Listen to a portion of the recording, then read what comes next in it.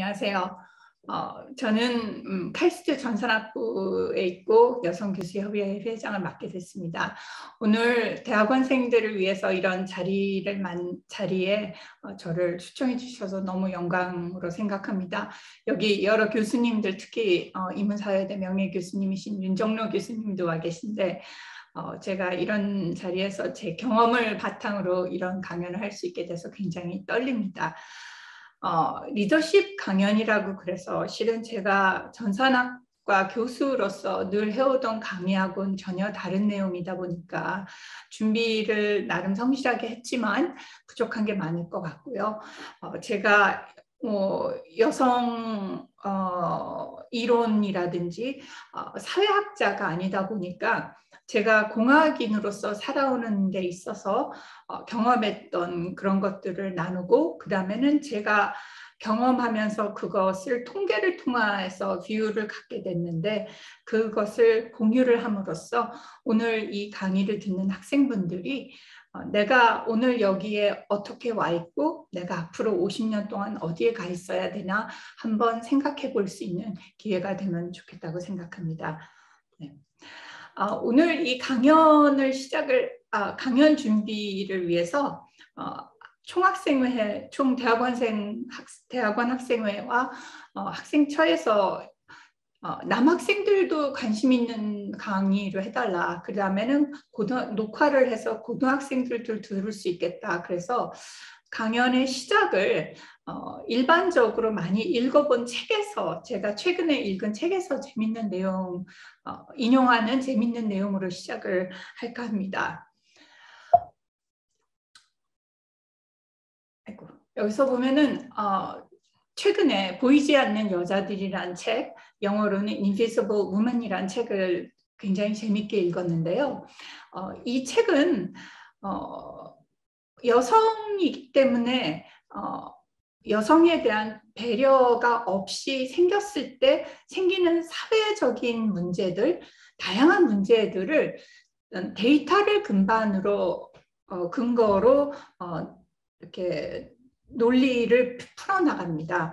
어, 지금 여성 운동, 뭐 페미니즘 뭐 이런 단어들이 굉장히 뭐 지난 선거에 뭐 갈라치기라는 말이 나올 정도로 굉장히 사회가 어, 양분되는 그런 상황인데 실은 여기 저희 학교 학생들은 어, 배우는 입장에서는 데이터를 근반으로 근간으로 생각하는 연습 그 다음에는 우리가 팩트 앞에서는 겸허해지는 그런 어, 자세를 갖고 있다라고 생각을 합니다. 이 책이 그런 어, 어, 데이터를 굉장히 많이 제공해 준대요. 제일 먼저 나온 얘기가 눈 치우기에도 양성평등이 필요한가입니다. 겨울에 눈이 많이 오면 눈을 치워야 되는데 눈 치울 때도 여성 남성을 고려할 필요가 있는가? 대답은 물론 이렇게 질문을 어, 던지면 무조건 답은 예스겠죠. 이런 질문들은. 근데 왜 그런가 하나 살펴보자면 이게 북구 스웨덴의 통계인데 스웨덴 같은 경우는 뭐 1년에 반이 어, 굉장히 겨울이 긴 그런 나라기 때문에 눈이 굉장히 많이 오겠죠. 그래서 79%의 보행자 사고가 겨울에 발생한다고 합니다. 근데 이 중에서 69%가 여성이에요. 왜 69%, 3분의 2가 여성일까를 생각을 해보자면 어, 3분의 2가 여성인 이유는 우선 여성들이 아이들을 데리고 등하교를 많이 합니다. 그리고 여성들이 장보기를 많이 하고 그 다음에는 여러 가지 이유로 여성들은 대중교통을 많이 사용합니다. 어? 스웨덴. 스웨덴이나 그러면은 우리의 인상은 북구에 있고 양성평등이 어, 잘 뭐 정책적으로 지원이 되고 뭐 의원이라든지 시의원, 그 다음에는 국회의원, 뭐 이런 의원의 수도 거의 50대 50에 가까운 그런 나라로 우리는 생각하고 있, 있는데 그럼에도 불구하고 여, 아이들 등하교, 장보기, 대중교통은 여성들이 많이 어, 하고 많이 사용합니다. 이건 통계예요. 그쪽이 그래서는 안 된다, 50%가 안 나온다 이런 게 아니라 통계가 나온 상황입니다. 이런 상황에서 보도하고 차도를 눈을 치워야 되는데 어, 눈이 많이 와요. 그러면은 스톡홀름 시에서 눈을 치워야 되는데 보도를 먼저 치우냐 차도를 먼저 치우냐 스톡홀름 시 입장에서는 예산상의 차이가 없어요. 양쪽 다 치워야 되니까. 그렇지만 차도보다 보도를 먼저 눈을 치우게 되면 보행자 사고의 사고율이 반감을 하게 됩니다. 그리고 그 반감이 60% 69% 여성 반감이 됩니다. 이게 왜 도움이 되느냐 하면은 여성들은 일을 하러 가는 비율도 높지만 아이들 등하교 장보기를 많이 합니다. 그래서 이거를 하면서 다치는 여성들의 숫자가 반감을 하게 되면 아이들 등하교도 훨씬 다른 사람을 대체 회사는 못 가게 되면 나 아파서 못 가요 하고 통과하면 끝이지만 아이들 등하교를 못 해주게 되면 대타를 구해야 돼요. 어, 장보기 물론 장보기도 요새는 다 배달이 되니까 대타를 구할 수 있지만 아이들 등하교뿐만이 아니라 집안의 어, 노인들을 돌봐주는 역할도 생각을 하게 되면 대타를 구해야 되는 일이 많습니다. 그렇게 됐을 때 사고율 반감을 통해서 사회적인 사회적 비용이 굉장히 감소하게 되는 거예요. 그래서 눈치우기의 양성평등을 고려할 필요가 저 꿈에 하도 한 번도 생각해 본 적이 없습니다. 우리나라엔 눈이 많이 안 오기는 하지만 제가 어, 유학을 가 있었던 메사추세츠 대학에 메사추세츠 주에는 정말 눈이 많이 옵니다. 그래서 겨울에 어, 허리 아프게 눈 치워 본 거를 몇 년 많이 해봤고요. 그때도 이런 거를 생각해 보지 못했는데 생각해 보니까 거기도 음, 버스에는 여성들이 많이 탔던 것 같아요. 자, 이래서 우리가 통계적의 중요성, 그냥 단 모든 숫자가 반반이 되어야 된다는 게 아니라 통계의 중요성에 대해서 어, 같이 같은 인식을 가지고 시작을 했으면 좋겠습니다. 네. 어, 조금 옛날 얘기로 돌아가자면 제가 아무래도 50대 후반이다 보니까 라떼 얘기를 안 할 수가 없어요. 그 조금 어, 아 지겹다라고 하실 수 있지만 제 딴에는 그래도 어, 옛날 서울대 사진도 구해가지고 좀 재미를 어, 넣으려고 해봤습니다. 자 이게 1984년 1월 20일 대운동장에 붙은 합격자 방을 확인하는 사람들 이 방식이 93년서부터 전화 통지로 바뀌었어요. 그래서 저는 어, 차마 제 사진은 못 넣었어요. 하지만 저도 여기 가서 내 합격자 번호를 확인한 기념 사진이 있습니다. 저는 이렇게 대학을 시작을 했어요. 이렇게 들어가도 저렇게 들어가도 대학 입학이라는 건 굉장히 설레는 경험인데 대학 들어가면 굉장히 좋은 건 줄 알았는데 실은 대학 가기 전에 너무나 대학에 대해서 몰랐어요. 제일 몰랐던 게 공과 대학에 화장 여 학생이 쓸 수 있는 화장실 수가 10개가 안 된다는 거를 몰랐어요. 그래서 공과 대학을 갔더니 어, 화장실이 각 매층마다 없어요. 어떤 건물엔 1, 2층에도 없어요. 그래서 강의실이 있는 동에는 여학생 화장실이 몇 층에 있나를 확인해서 외우는 게 1학년 때 해야 되는 일이었어요. 이거는 지금 학생들은 상상도 못할 텐데 그때는 그랬어요. 근데 이게 요새는 어떻게 바뀌었냐. 이게 서울대 관악 캠퍼스 공대 84년인데요. 여기 오른쪽에 보면 공대가 오른쪽에 구석에 있어요. 이렇게 음 이게 지금 이, 이 사진을 보시면 이게 아마 북한의 김일성 공대 사진이라고 해도 다들 믿으실 거예요. 어, 떻게 보면 천편일률적으로 이렇게 지어졌는데 드라이하고 상막할 뿐만이 아니라 화장실도 없었어요. 이 시절에는. 그런데 요새는 어떠냐 하면은 이렇게 뭐 그냥 화장실 불균형 이렇게 딱 치면 영등포구 같은 데 보면은 화장실 성별 불균형 개선한다. 여성 변기수 남성 두 배로. 아, 그때는 우리가 절대 소수였기 때문에 공대에 다니는 여학생들의 수가 절대 소수였기 때문에 화장실이 적다는 거에 대해서 불평할 생각도 못했어요. 왜냐하면 여성 여성 수가 너무 적으니까. 그지만 요새는 어, 공공 건물은 여성의 화장실 수가 남성보다 두 배는 돼야 된다라고 생각을 합니다. 왜? 여성들은 그냥 화장실에 가면 시간을 더 써요 남자들보다. 바지 내리고 입 올리고 앱솔루트하게. 이거는 그 타고 나서 그래요. 어, 그 다음에 심지어 여성들은 소위 달거리라는 것도 있어서 화장실을 더 자주 가요 남자들보다. 어.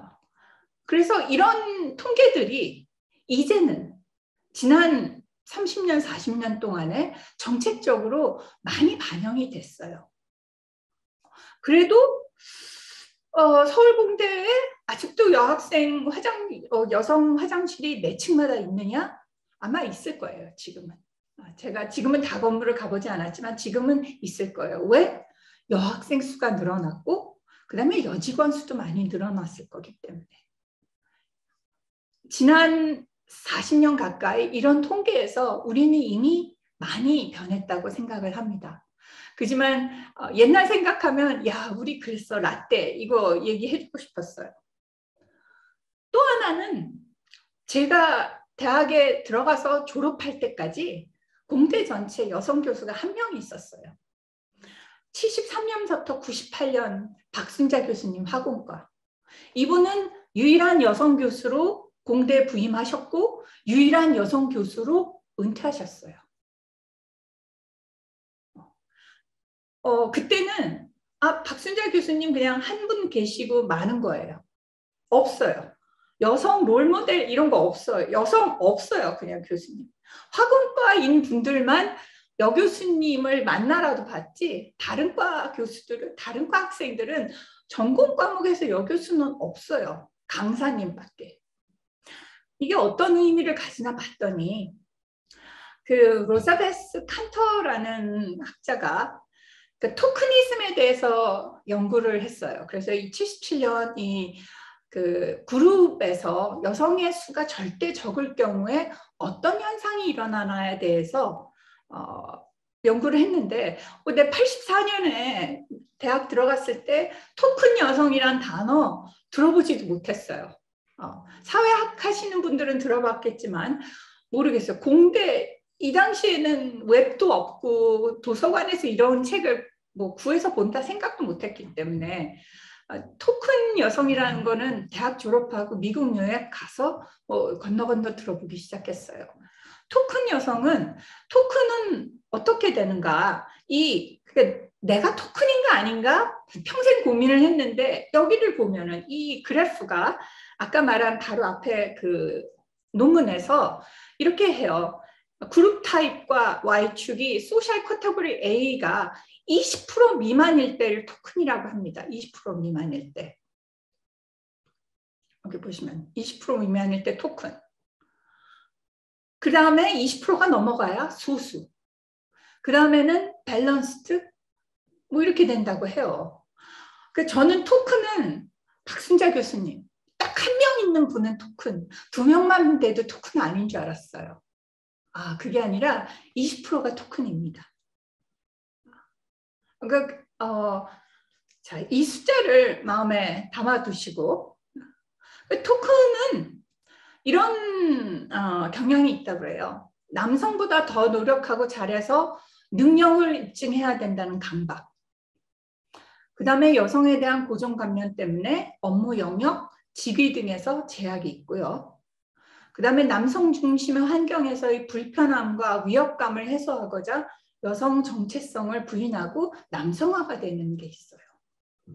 이런 게 토큰 여성들의 경험입니다. 일반적인. 일반적인.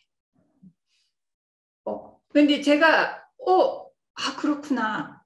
어, 느끼면서 제가 박순재 교수님을 대학교 다닐 때 보면서 아, 저분은 저래. 그럼에도 불구하고 나는 아니야 라고 생각을 했던 게 있는 것 같아. 나는 아니야. 왜 아냐? 왜 아냐? 하면은 어, 컴퓨터공학과 제가 들어갔던 컴퓨터공학과는 53명 중에 여학생 6명, 11.3%. 좀 여학생 친구들이 있었어요. 그래서 나는 아니야 라고 생각을 했어요. 그럼에도 불구하고 신입생 3, 1033명 중에 여학생은 31명, 3%였습니다. 그러니까 공대에서 컴퓨터공학과와 건축공학과가 여학생이 제일 많은 학과, 양대 산맥. 아직도 그렇긴 합니다. 양대 산맥. 전체적으로 보면 3%. 80년대는 음, 그랬어요. 그리고 누적 서울대 공대 여학생 졸업 소수가 제가 입학했을 때 100명이 안 됐어요. 그러니까 위로 선배들이 100명이 안 됐어요. 그나마 전상과는 78년에 생겼기 때문에 저 위로 선배가 20명이 안 됐어요. 어. 이거 모르고 들어갔어요. 모르고 들어갔어요. 저는 결론은 어, 신입생 3%, 그 다음에 컴공 11%, 같은 세대에서는 나는 평생 토큰인 거예요. 우리 세대는 그냥 모든 여성들이 토큰인 거예요. 아, 그거 생각 못 했어요, 진짜로. 생각 못 했어요. 사느라고 바빠서. 자, 2020년 서울대 현황을 한번 보겠습니다. 자연대 공대 학부 비율, 자연대 20%, 공대 12%, 공대 점점 심지어 떨어지고 있어요. 자, 최근 3년간 여성 교육이 지속적으로 증가한 단과대학, 이거 좋은 대학이라고 서울대 다양성 보고서에 나온 결과인데 18, 19, 20에 4.4%, 공대 4.4%. 그러니까 저희 입학할 때 3%였다고 말씀드렸죠. 눈꽃만큼 나아졌어요. 눈꽃만큼 진짜. 지난 35년 동안에 눈꽃만큼. 근데 여학생 비율은 12%. 어, 자연대, 자연대 여기 심지어 요새 증가를 못해가 자연대 여기 끼지는 못하는데 자연대 여교수 비율 공대보다 뭐 그렇게 좋지 않아요. 자, 그렇지만 이 갭, 여학생 비율과 여교수 비율을 그 델타를 차이를 양성평등 임용 여력 지수로 정의를 해서 이 임성 여력 지수를 0으로 만들려고 하는 노력을 객관적으로 지금 정책적으로 시작을 하고 있습니다. 그래서 그때도 어, 굉장히 적은 수였고 지금도 적은 수지만 이 갭을 줄이려고 정책적인 노력을 하고 있습니다. 어, 그래서 84년에 대학을 들어가면서 제가 실은 굉장한 문화적 충격이 있었는데 그때는 어, 대학교 다닌 것만으로도 너무 일이 바빠가지고 이 충격을 생각을 못했는데 정리를 해보자면 그때서부터가 다양한 차별을 경험하기 시작할 때였던 것 같아요. 고등학교 때는 여고를 다녔기 때문에 제 주변이 전부 다 여자였어요. 그래서 회장도 여자, 반장도 여자, 다 여자가 했는데 어, 대학을 들어가니까 통금 시간이 생겨요. 어, 술 마시고 다니지 마라. 어, 저는 1학년 때는 9시, 2학년 때는 10시, 3학년 때는 11시, 4학년 돼서야 12시. 그리고 종강 파티, 개강 파티 때만 좀 늦는 게 허가가 됐어요. 뭐 아버지랑 목소리 높이기 싫으니까 어지간하면은 그냥 따랐는데 어, 4년 후에 3년 후에 대학을 들어온 제 동생은 1학년 때부터 12시 통금 시간. 언니가 길 닦아놔서 그 동생은 바로 시작했어요. 와, 전 정말 힘들었는데 우리 동생 그거 고마워해야 돼요 저한테. 그 다음에는 음, 고등학교 선생님들한테 졸업하면서 여학생들은 키워봐야 소용없다 이런 얘기 듣고 졸업했어요. 왜? 남학생들은 졸업하고 나서 직장 잡고 그러면 선생님들 찾아오고 뭐 그러는데 여학생들은 직장 잡고 찾아오는 일이 없다니까 직장 잡는 애들이 없었어.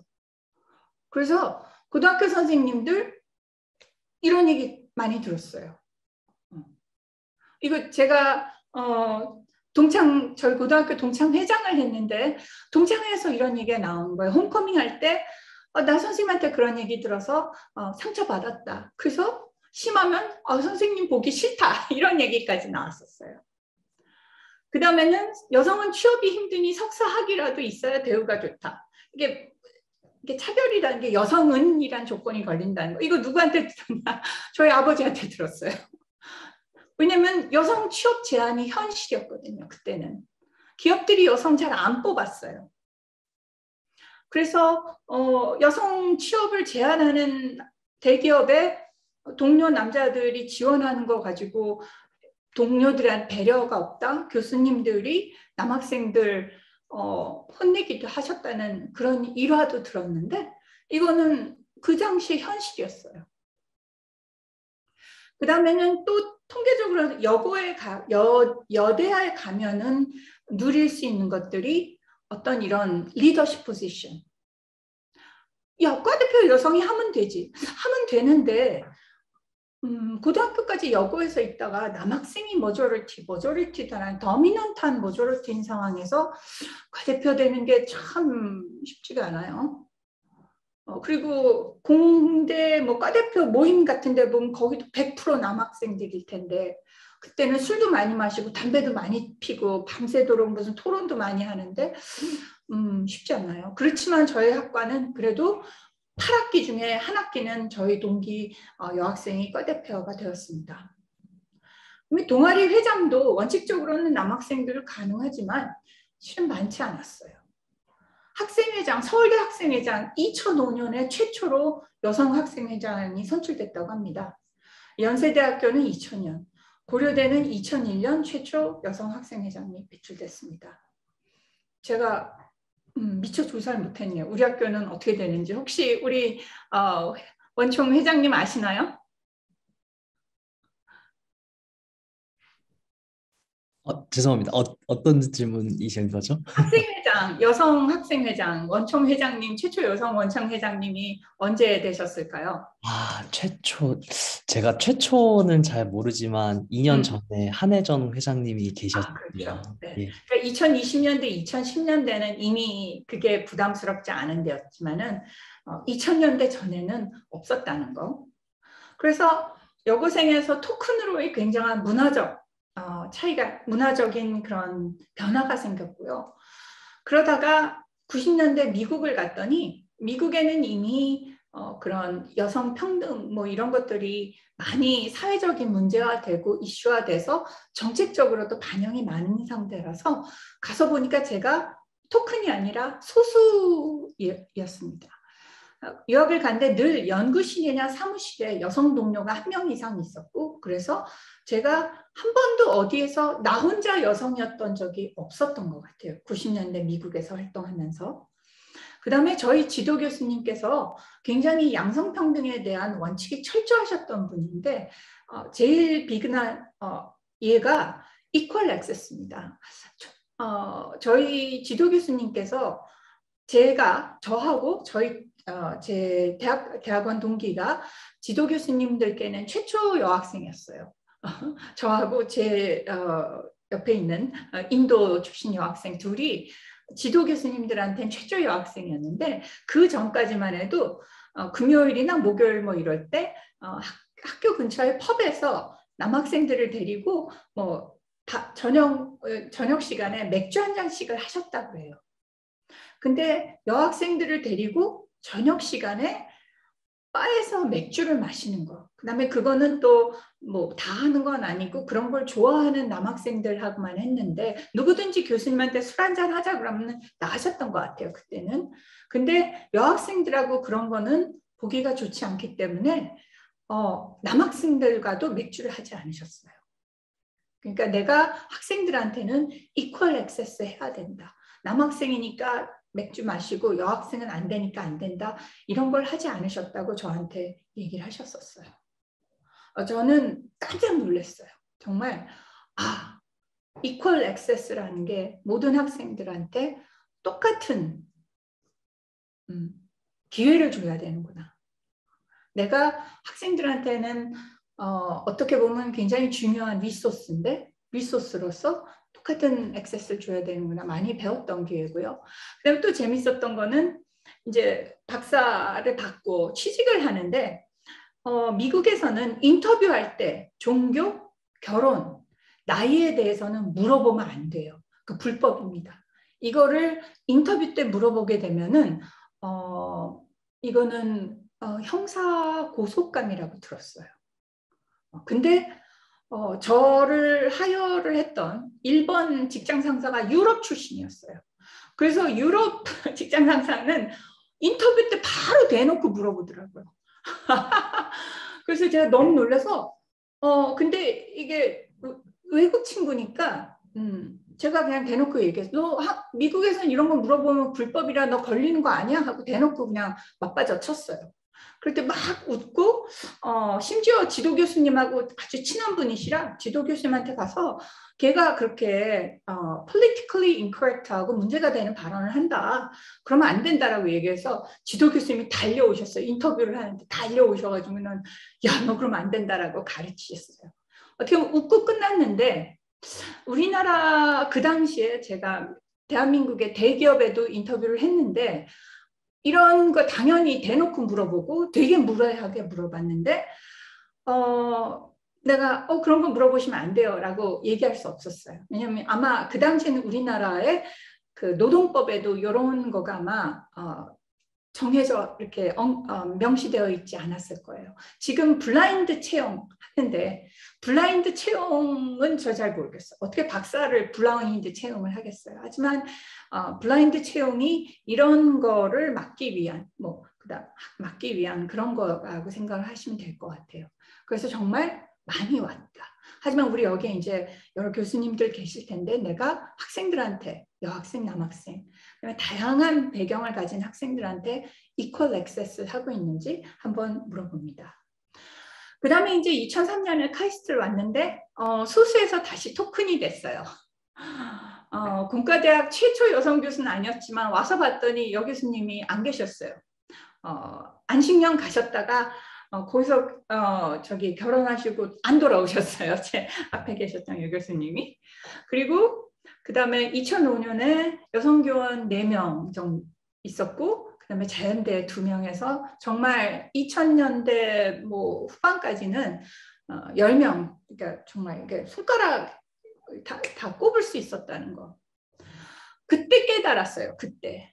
대학교 입학할 때의 성비가 평생 간다는 걸. 저는 정말 무식하게 어, 지금 공대는 여학생이 없지만 나가면 사회에 나가면 어디선가 여성들이 퐁퐁 샘물에서 솟듯이 물 솟듯이 이렇게 퐁퐁 나와서 50대 50%까지는 아니어도 한 3, 40%될 줄 알았어요. 아니에요. 아니에요. 그냥 입학할 때 성비가 평생 성비입니다. 그 분야에서는. 그래서 아직도 한국에서는 수많은 위원회 가보고 어 아무 생각 없이 가서 보면은 아 내가 또 유일한 여성 있는 때가 있고요. 1973년에 창립한 한국여성정보과학회 이건 전산 분야에 제일 권위 있는 학회인데 여태까지 여성 학회장이 아직 없습니다. 음, 그 다음에 46년에 창립한 대한정자공학회 최초 여성 학회장은 이화여대 임혜숙 교수님 현재 과기정통부 장관을 하고 계시죠. 그래서 아직도 실은 음, 토큰의 그 세대가 50대라는 거. 그 2005년에 카이스트 여학상의 밤을 시작했어요. 이게 2005년에는 처음 했는데 정신이 없어서 사진 찍을 생각도 못했어요. 그때는. 어, 그 디카가 있었던 시절이 아니고. 그래서 2006년에 여기 이제 신현정 교수님, 박수경 교수님, 그리고 서남표 총장님과 사모님, 서현자 사모님, 그 다음에 이상경 교수님. 그 여학생의 밤에 뭐 대단한 게 아니라 그냥 와서 저는 여학생의 밤을 통해서 여교수님들이 있다. 롤모델이 있다. 너, 너네들 어, 학생들한테 뭐라도 어려운 일이 있으면 찾아올 찾아가서 의논할 수 있는 여교수님들이 있다라는 걸 그냥 보여주고 싶었어요. 여학생의 밤. 근데 이제 더 이상 여학생의 밤을 안 해요. 왜냐면은 여학생 수가 너무 많아지고 여교수님들이 너무 많아져서 이런 리더십 세미나 무슨 세미나에서 프로그램이 너무 다양해졌어요. 발전적인 해산. 이거는 저로서는 정말 너무너무 행복하고 즐거운 일입니다. 그 다음에 2010년에 이제 토큰에서 소수로 발전하게 됩니다. 이게 2019년 2월 기준 4대 과학기술원 교수 현황인데요. 카이스트에는 전체 교수 그때는 640명에 여성 교원이 64명 그래서 10%였습니다. 다른 대학도 비슷비슷합니다. 이게 2019년인데요. 3월 28일 현재 오늘 아침에 교무처에서 따끈따끈해 받은 통계인데 총 664명의 교수들 중에서 12%가 여성 교수입니다. 12%. 그러니까 아까 토큰이 20%까지라고 했는데 맞습니다. 그렇지만 그거를 이제 strata를 본다 하면은 교수는 아직 7.1%예요. 그러니까 교수는 어쩔 수가 없어요. 그 시대가 원체 적었기 때문에. 부교수는 15.7% 그리고 조교수에서 드디어 20%가 됩니다. 이렇다는 얘기는 저희가 토큰에서 스스로의 그 phase transition이 일어났다는 거예요. 그게 어 전체 통계가 20% 됐으면 좋겠다. 아 그거는 저는 비현실적이라고 생각해요. 저는 비현실적이라고 생각합니다. 그러면 좋겠지만 아까 양성평등 임용 여력 지수를 생각하시면 우리가 여태까지 지난 2, 30년 동안에 몇 명 여성 어, 박사를 얼마를 배출을 했는데 그 수가 조교수, 부교수에 반영이 되는 거지 어, 그 수가 지나치게 왜곡이 되거나 그렇다면은 그거는 또 어, 저는 음, 좋은 정책은 아니라고 생각해요. 그래서 저희가 지금 어, 조교수, 여성 조교수가 20%인데 저희 학생 비율도 이 정도로 알고 있습니다. 박사과정 비율이 어, 과마다 다르지만 10%에서 30%.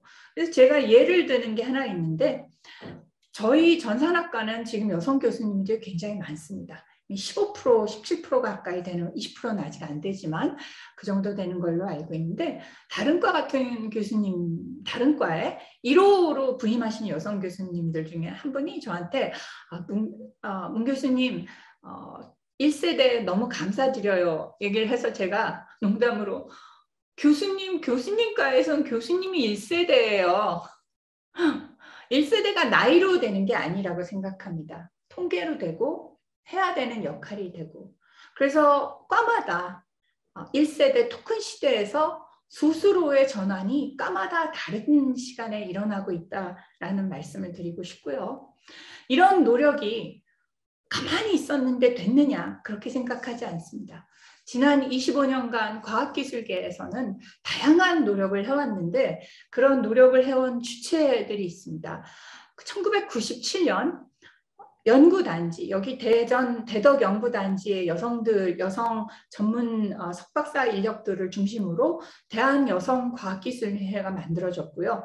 이게 어, 여성 과학기술인들로서는 최초의 모임입니다. 97년 대덕 연구단지에 그만큼의 어, 여성 어, 연구 인력들이 어, 집합이 되어 있었다는 거죠. 2003년에 여성과학기술단체 총연합회 여, 여, 여성과총이라고 얘기하는데 여성과총이 2003년에 설립이 됐습니다. 여성과총 같은 경우는 한국과총, 한국과총 산하에 있는 모든 학회들 여기 굉장히 다양한 그런 학회들에 소속한 학생들이 있을 텐데요. 수학회, 물리학회, 화학회, 전자공학회, 정보과학회 등등 굉장히 많은 과학단체들이 전부 다 한국 아, 과학기술 총연합회에 소속으로 되어 있습니다. 거기 소속되어 있는 모든 학회에 여성위원회를 만들도록 했고 그 여성위원회들이 여기 과학기술단체에 소속이 됩니다. 그래서 실은 여성 각 모든 과학기술 단체별로 여성위원회가 만들어져 있는데 어, 정보과학회 같은 경우만 하더라도 여성위원회가 정보과학회도 2011년 정도에 만들어졌어요. 여과총이 2003년에 만들어졌는데 정보과학회 여성들의 숫자가 절대 소수라 여성위원회 구성은 2010년이 넘어서야 겨우 됐고요. 아직도 여성위원회를 꾸미려면은 매년 새로운 멤버로 셔플을 하고 싶은데 사람이 없다 보니까 예전에 했던 분 또 하고 또 하고 또 하고 이렇게 되고 있습니다. 그 다음에 2004년에는 여성공학기술인협회가 발족이 돼서 여기에는 공과대학에 소속된 학, 어, 공과대학 으로 분류가 될 수 있는 학회들과 그 다음에는 실제로 어, 산업계에서 활동하시는 분들이 같이 모여서 활동을 합니다. 여기서는. 그리고 2011년에는 여성과학기술인 육성재단 그래서 여기서는 초중고 여학생들과 대학생들, 여대학생들을 pairing을 하는 다양한 과학 프로젝트들 그 다음에는 경력 단절 여성들을 위한 다양한 프로그램들 그래서 그런 육성, 야, 프로젝트를 어, 위셋에서 하게 됩니다. 어, 네개 중에 어, 세 개가 전부 다 과학기술 어, 과기정통부 산하이고요. 여성공학기술인 협회만 산자부 산하의 소속, 산자부 소속 어, 단체입니다. 그래서 이런 다양한 과학기술계를 단체들을 통해서 지난 20년 동안 여성 과학 기술인을 위한 정책, 후원 정책을 만들어 왔고요. 그 곁도 어, 저희 공학기술인회에서만 그렇게 해온 게 아니라 다른 분야, 특히 또 경영 이런 데서도 굉장히 많은 노력을 해왔는데요. 제가 공학인으로서 공대 여성 교수가 없는 건 너무 다양하다고 생각을 했어요. 근데 통계에서 잠깐 보자면은 사회대 같은 경우에도 보면은 여성의 비율이 아주 높지는 않습니다. 여기도 인문대, 사회대 이런 데가 50% 아닙니다. 특히 사회대에서도 경제학과, 정치학과, 어, 그 다음에는 심지어는 사회학과 이런 데도 여성 학자들이 절대적으로 부족합니다. 대한민국 경제학자로 여성 경제학자 기억나신 분이 있으신가요? 여성 정치학자 기억나신 분이 있으신가요? 제가 공대 교수로 이 좀 나이가 들어서 다른 대학에 계신 분들을 만날 때가 돼서 보니까 제 또래 분들은 사회대에서도 다 토큰이셨어요. 지금 이쪽은 숫자로 보면은 소수에 도달한 걸로 보이지만은 실제로는 별로 얼마 되지 않았다. 더구나 이건 서울대인데 저희는 이제 여기가 올라오고 있다는 거. 그래서 어떻게 보면 비슷한 상황이다라는 걸 말씀드리고 싶고요. 그래서 경영 쪽에서도 굉장히 많은 노력을 했는데 그게 단순히 여성이 비율이 많아야 된다. 그냥 숫자로만 한 게 아니라 실은 2017년 Deloitte에서 이런 Deloitte Insight라는 이런 리포트를 했는데 여기서 diversity and inclusion이 너무 중요하다라는 경영 보고서가 나오기 시작합니다.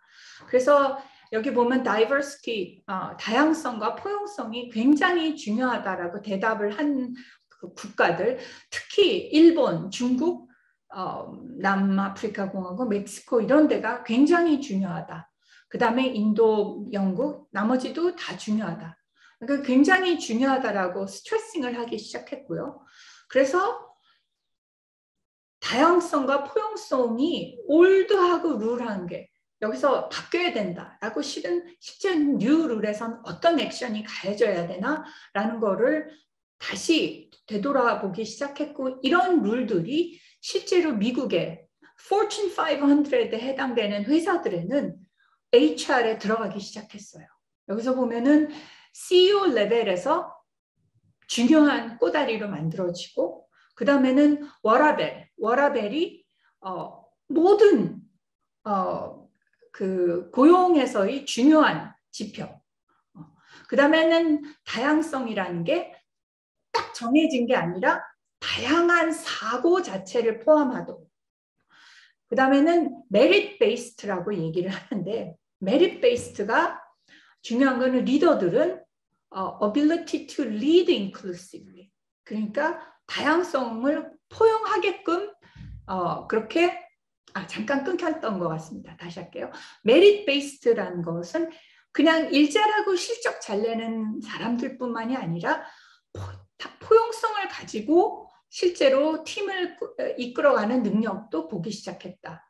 그 다음에는 회사에서 그러니까 다양성을 포용성을 가지는 매트릭을 만들어내서 그걸 가지고 상대평가를 하겠다. 경영 평가에 인사 고과에 다양성과 포용성이 들어가기 시작했다는 거죠.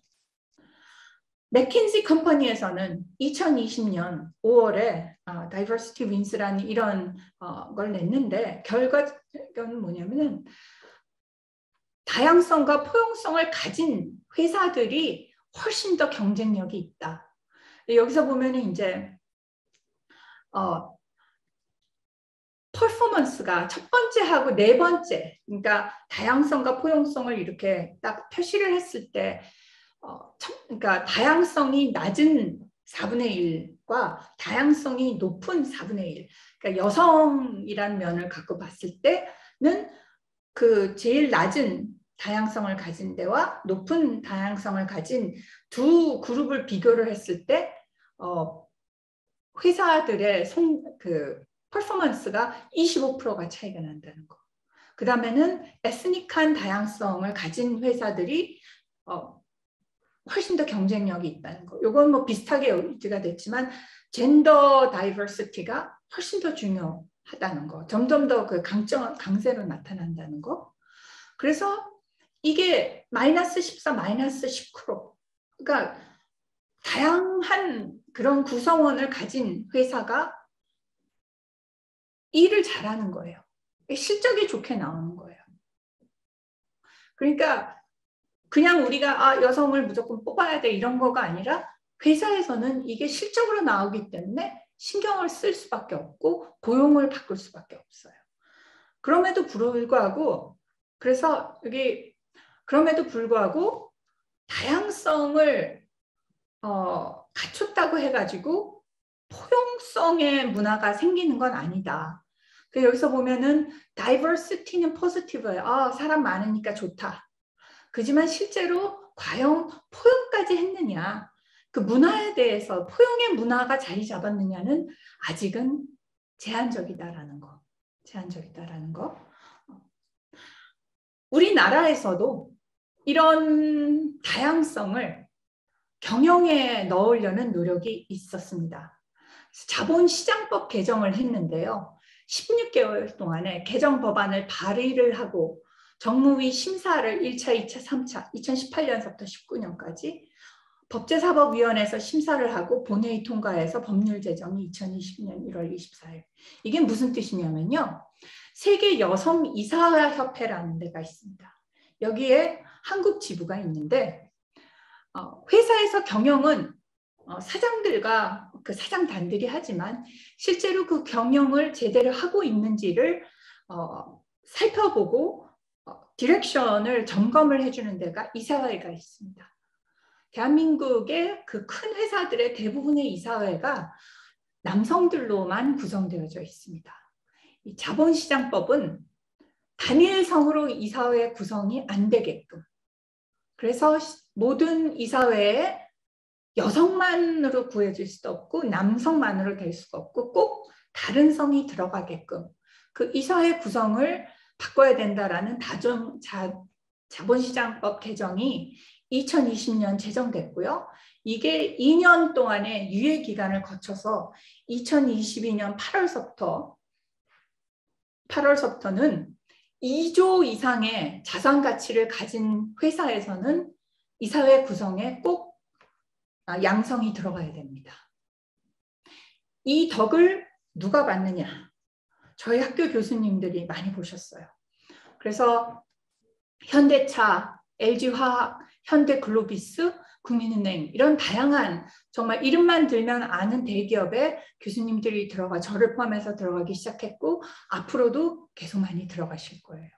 이거는 어, 이 앞에 이런 자본시장법 개정을 위해서 노력해 주신 그런 여성계 지도자들이 계셨기 때문에 저희가 그 혜택을 보고 있다고 생각을 합니다. 한국의 여성 경영 참여 현상을 한번 살펴보자면요. 이렇게 하기 전에 이게 지금 통계가 조금 어, 아직 2022년이면 크게 바뀌겠지만요. 2020년에는 OECD 에버리지가 여긴데 한국은 꼴찌입니다. 그냥 9년간 OECD국 꼴찌였다고 해요.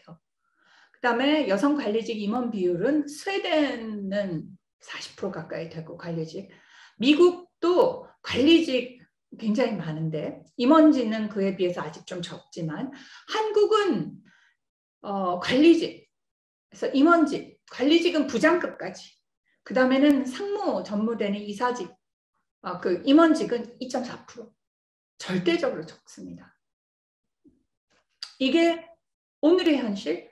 어떻게 보면 관리직, 임원직은 40대, 50대이기 때문에 우리 시대 얘기겠죠. 그지만 이 숫자는 바뀔 거라는 거. 왜? 카이스가 이미 바뀌고 있으니까. 그렇지만 음, 제가 요 정책 어, 리포트를 짧게 봐서 짧게 봤는데 되게 재미 좋았던 부분이 압축 성장이라는 부분.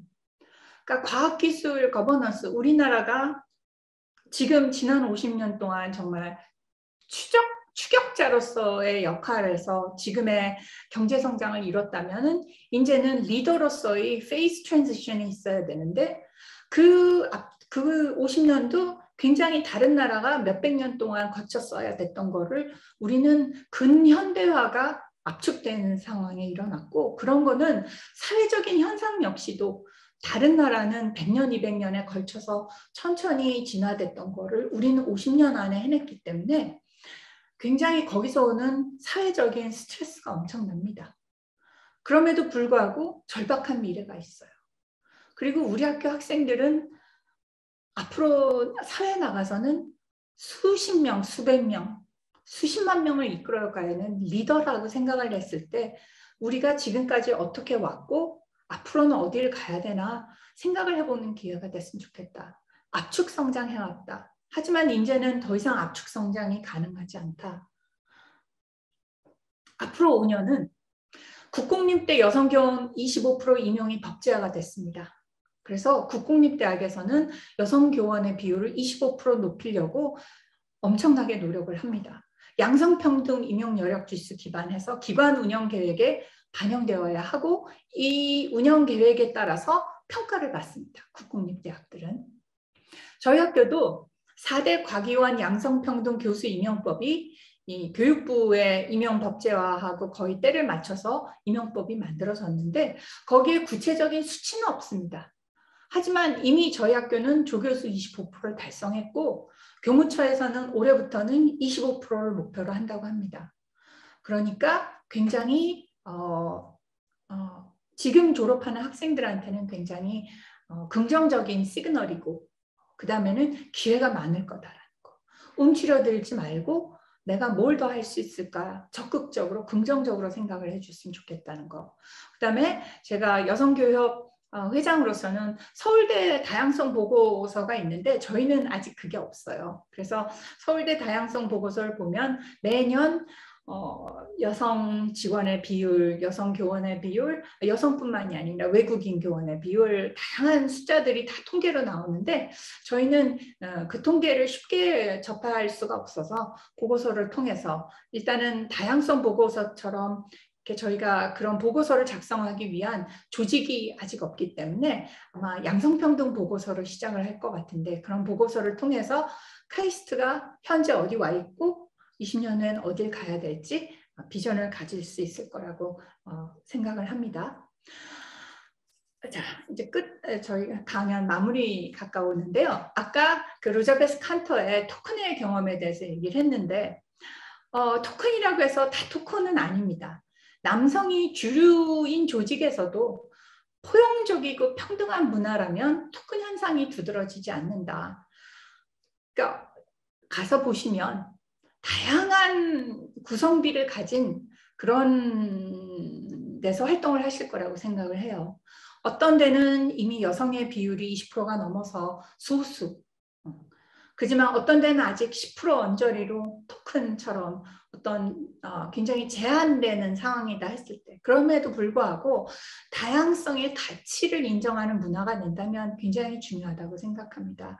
제가 카이스트에 처음 번임을 했을 때 저는 이런 포용적이고 평등한 문화에서 시작할 수 있었기 때문에 어, 능력을 입증해야 되는 강박 없었다고는 할 수 없었지만 어, 뭐 열심히 하면 되니까 제약 제약은 저는 없었던 것 같아요. 어, 전산과에서는. 그 다음에 어, 여성 정체성 부인. 어, 이것도 별로 없었던 것 같아요. 그거는 통계로 잡힐 수 없는 거라서. 하지만은 왜 그랬냐 생각을 해보면 어, 제가 처음 카이스트에 부임했을 때 어, 저희 시니어 교수님 지금은 이제 명예 교수가 되셨지만 그분께서 문 교수 여성 혼자는 너무 힘들어 하나 더 뽑는 게 아니라 둘 더 뽑아서 빨리 세 명 만들어서 우리 잘해보자. 그렇게 얘기를 해주셨어요. 그러니까 한 명, 두 명, 세 명도 어, 당연히 뽑아야 된다라고 생각을 해주셨다는 거. 리더십을 가지신 교수님들께서. 어, 그랬다는 게 저한테는 너무나 큰 어, 그런 인, 어, 뭐랄까 용기를 북돋아 주시는 거였고 그래서 어, 이런 토큰 이었었는 상황임에도 불구하고 다양성을 인정해주는 문화에서 성장을 했다라고 생각을 하고 굉장히 감사하게 어, 생각합니다. 자 마무리를 하겠습니다. 다양성, 포용성 다 좋은데 학생들이 아 숫자 여학생 나는 할 게 아무것도 없네 어, 이렇게 생각할 수도 있고 아 심각하다 나도 통계에 좀 신경을 써야 되겠다라고 생각을 하실 수도 있는데 하나만 좀 더 보태주자면 어, 이런 얘기를 하고 싶어요. 제가 여기 이제 그 다이아틱 모티프라는 걸 했는데 어, 보여드리는데 어, 사회학과 사회적 관계에서는 두 명은 사회적 관계가 아니라고 그래요. 그거 그냥 one-to-one 둘. 셋이 돼야 사회적 관계가 되는데 그 소위 여기 이제 three-link triad 이게 닫혀야 되는 겁니다. 요렇게 알고 요렇게 알는데 이거는 그냥 각각의 인간관계. 근데 이렇게 셋이 돼야 인간적, social, 사회적 관계가 성립이 되는데 어 제가 여성 교수로서 제일 어려웠던 부분은 어떤 거냐면은 어, 9 to 6로 일을 다 하고 저녁 시간에 아 이게 그냥 뭐 어디 회의처럼 할 얘기는 아니고 이런저런 얘기를 하고 싶은데 남성 교수하고 둘이서만 저녁에 나가서 맥주 한잔 하면서 얘기를 할 수가 없어요. 제가 몇 번 해봤어요. 친한 교수들이니까 그냥 동네 여기 어운동이나 어디 가서 그냥 가서 저녁에 맥주 한잔 하고 그래 봤는데 보는 눈도 따갑고 우리 아무것도 안 하고 술만 마시면 이런저런 얘기를 하는데 그런 것들. 어, 그래서 어, 남성이 많은 그런 데서 어, 더구나 심지어 토큰으로 남성이 그냥 남 절대인 상황에서 어떤 물론 일을 9 to 6에 다 끝내고 저녁에 집에 가서 해야 되는 건 맞지만 다 알다시피 사람 사는 네트워킹 인간관계에서는 저녁에도 또 이런저런 얘기를 하고 또 너무 속상하거나 또 긴밀히 의논해야 되고 이런 것들은 그냥 조용히 사람들끼리 만나서 이런저런 얘기를 하면 또 쉽게 풀리고 그런 것들이 있는데 어, 여성들은 그거 둘이 못 나가요. 그래서 꼭 편한 깍두기가 한 명이 있어야 돼요. 그래서 여기 이제 많은 남학생들이 있을 텐데 내가 아주 작지만 작고 사소한 거지만 남 여성 동료가 누구 나갈 때 너 좀 같이 나와서 해달라 같이 셋을 만들어 달라고 하면 잘 좀 그냥 묻어서 나가서 이렇게 세 명을 채워주는 자주 하진 않아도 그런 역할을 해주면 좋지 않을까 어, 이건 그냥 정말 개인적인 소견입니다. 어, 이래야 된다라는 건 아니고 어, 이런 어려움도 가능하다라는 것을 말씀드리겠습니다. 어, 다양성 얘기를 하면서 실은 여성 얘기만 했는데요. 마지막 슬라이드는 이겁니다. 국내 외국인 거주가 20, 215만 명입니다. 이렇다는 얘기는 이게 4%라고 해요. 저희 인구 대비 4%. 제가 대학교 입학할 때 공대 여학생 비율이 3%. 그 비율을 넘어선 비율입니다. 그래서 대한민국의 어, 외국인 주민, 그러니까 한국 국적을 가지지 않은 그 다음에 한국 국적을 취한 이런 다양한 이런 외국인 거주자들에 대해서 우리는 어떤 어, 적극적인 어, 그런 어, 포용성을 가지고 어, 대해야 될까는 그냥 화두로만 던져 놓겠습니다. 아, 이걸로 제 어, 발표를 마무리하도록 하겠습니다. 감사합니다.